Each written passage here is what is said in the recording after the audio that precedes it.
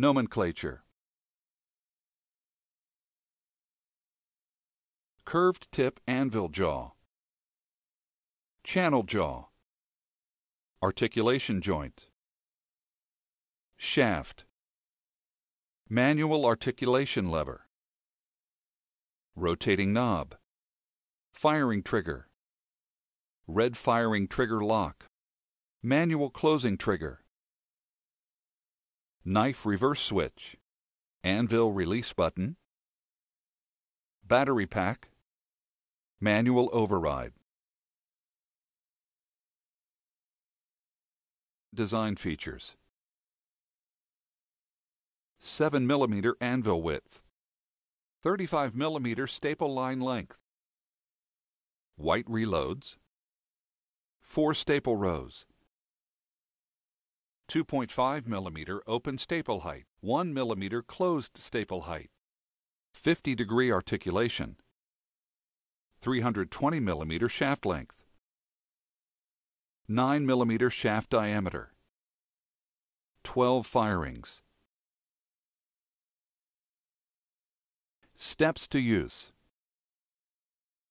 Prior to using the instrument, using sterile technique, remove the instrument and the battery from their respective packaging and install the battery pack.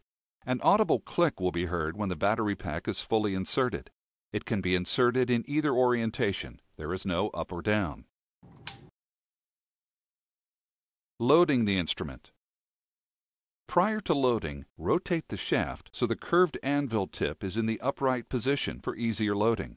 Examine the reload for the presence of a yellow staple retaining cap. Insert the reload by sliding it against the bottom of the channel jaw until the Reload Alignment tab stops in the Reload Alignment tab slot. Snap the reload securely in place. Remove the yellow staple retaining cap and discard. Observe the surface of the new reload to ensure no blue colored drivers are visible. Visually inspect the stapler to ensure proper reload seating. Closing and opening of the jaws. Prior to insertion through the port, rotate the shaft back so the curved anvil tip is in the downward position. The shaft will rotate optimally when the jaws of the device are open.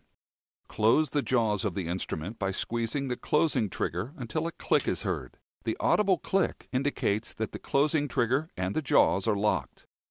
Squeeze the closing trigger and then simultaneously push the anvil release button on the side of the device. Maintain pressure on the anvil release button and slowly release the closing trigger. Articulation and placement. To articulate the jaws inside the body cavity, turn the articulation lever in either direction until one of the three predetermined angles is reached. Articulating while closed does not provide optimal feedback and control and may result in instrument damage. Position the instrument around the tissue to be stapled, ensuring that the tissue is proximal to the cut line markings, which represent the minimum cut distance.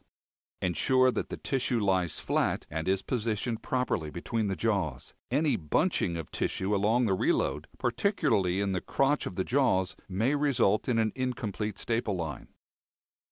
Fully close the closing trigger until it clicks. Warning, do not use the instrument if, upon closing, the tissue extends beyond the cut line marking, which represents the minimum cut distance. Firing with tissue in the tip of the jaws may result in incomplete cutting action and or improperly formed staples. Pull back the red firing trigger lock. Pull the exposed firing trigger to fire. Continue to depress the trigger until the motor stops release the firing trigger to automatically return the knife to the home position. To open the jaws, squeeze the closing trigger and then simultaneously push the anvil release button on the side of the device. Maintain pressure on the anvil release button and slowly release the closing trigger. Inspect the staple line.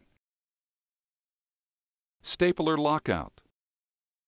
Under certain circumstances, the stapler will lock out, including instances where there is no cartridge, an incorrect cartridge is used, or a used cartridge is still in the device. At any time, if the knife reverse switch does not return the knife to the home position and the jaws will not open, reverse. Slide the knife reverse switch forward. Battery. Check the battery is securely installed and that the device has power. Reverse. Slide the knife reverse switch forward again. Override. If the knife still does not return, use the manual override. Remove the access panel labeled Manual Override on top of the handle. The manual override lever will be exposed. Move the lever forward and backward until it can no longer be moved. The knife will now be in the home position. This can be verified by viewing the position of the knife in the knife lockout window. Note, once the override lever is used, the device becomes non-functional. Discard the instrument and dispose of the battery pack. Reloading the instrument. Push upward toward the anvil to unsnap the reload from the channel jaw.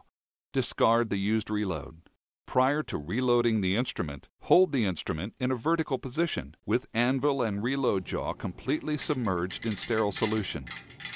Swish vigorously and then wipe the inside and outside surfaces to clean any unused staples from the instrument.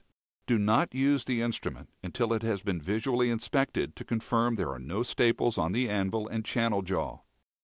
Follow the same steps outlined earlier in the Loading the Instrument section. Battery pack disposal. Disconnect the battery pack by squeezing the release tabs and pull the battery pack straight back. Because of the built-in battery drain, it is safe to discard the battery pack into the battery recycling bin or normal waste stream.